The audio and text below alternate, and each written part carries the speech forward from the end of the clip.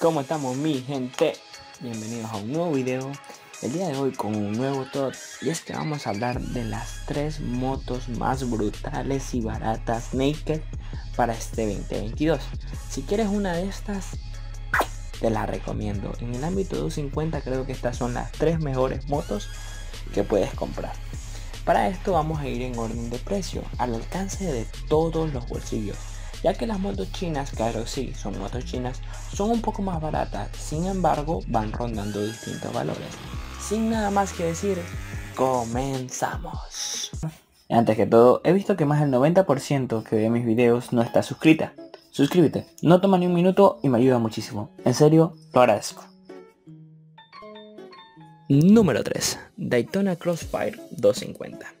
Como ven, obviamente todas estas motos son un estilo deportivo naked brutal.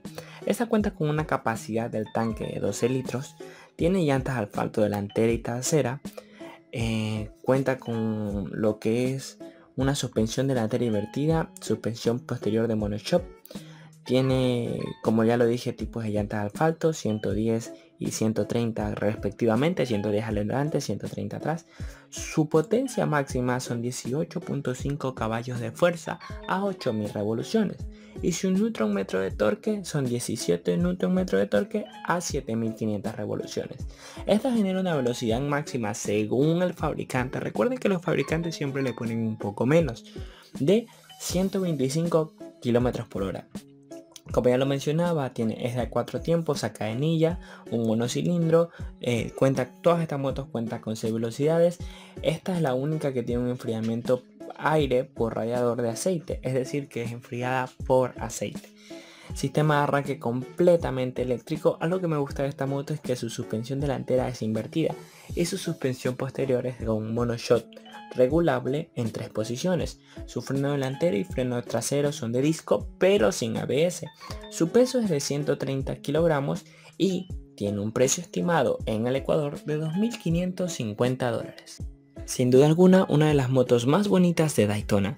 La recomiendo más que nada por su precio y fiabilidad, ya que cuenta también con un alcance en el cual puede llevar por peso hasta 200 kilogramos, según el fabricante, lo cual también le ayuda para la ciudad y el estilo que tiene es único sin duda alguna una de las mejores motos de Daytona.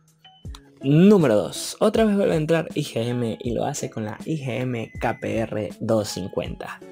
Este motor es 250 eh, a cadenilla, cuenta con un encendido eléctrico. Eso sí, algo que me gusta de esta moto es que es full system injection, es decir, no es a como la anterior, lo cual genera un poquito más de consumo al motor en cuanto a lo que es este gasolina y dicen unos que la hacen más rápida. Sinceramente yo me quedo con los carburadores porque la modificación es un poco mejor. La potencia máxima es de 25.5 caballos de fuerza a 8000 revoluciones y de 21 Nm de torque a 7000 revoluciones. Obviamente es una caja de 6 velocidades, su diseño es netamente naked, muy bonito para mi gusto. Su sistema de refrigeramiento es eléctrico ventilador a agua, no es completamente, es un, un este radiador un poco diferente. Su velocidad estimada por el fabricante es de 130 km por hora también cuenta con barras telescópicas invertidas adelante y monoshot no regulable atrás. Más sin embargo cuenta con disco ABS al frente y no disco y sin disco ABS atrás, lo cual es una ligera diferencia en cuanto y por eso está en el puesto número 2 es porque los frenos es algo que a mí me gusta bastante y qué mejor que tener frenos ABS. Su llanta delantera es 110-70, su llanta trasera es 140-70, el volumen del galón es de 3.70 galones, lo cual lo hace muy bueno. Estamos hablando de cada galón es de 4, 3 x 4, 12, 12.5, casi 13 eh, o 15, 13 o 14 litros. Ahora bien, el peso de esta moto me preocupa. Según he visto es de 200 kilogramos, pero he llegado a ver hasta que pesa 330 kilogramos, lo cual me sorprende bastante. Más sin embargo, el, diseño que tiene me gusta mucho. Es una moto bastante bonita que sinceramente si no fuera por su precio, que es un poco elevado, varía mucho su precio. Hay días que puede estar en 2.000 dólares, 2.500, 3.000 dólares hasta la he llegado a ver en 4.500 dólares, pero sinceramente el precio que más se ve comúnmente en los almacenes es de 3.100 dólares. Es lo único detalle que tengo y GM siempre hace eso y es algo que no me gusta de la marca.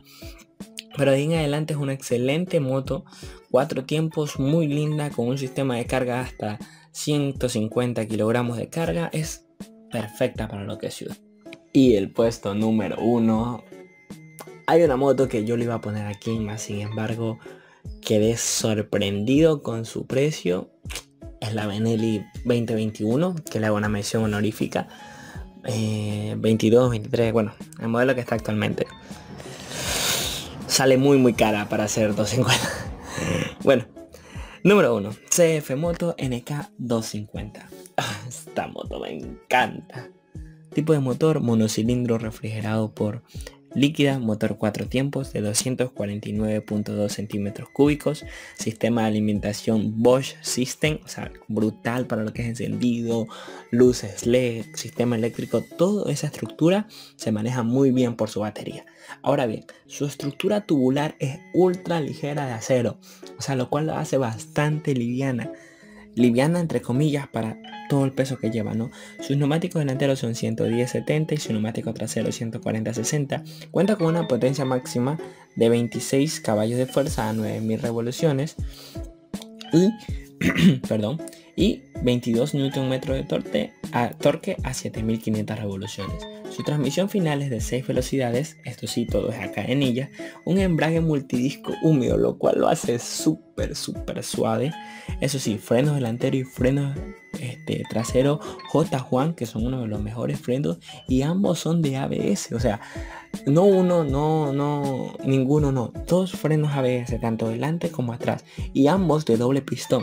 Suspensión delantera es eh, de telescópica horquilla invertida y su suspensión trasera es un mono amortiguador. Es decir que aparte de ser regulable en cinco posiciones, tiene la capacidad de que permita cargar hasta 151, este, 151 kilogramos de peso. Ahora bien, el peso de la moto en sí es de 150 kilogramos.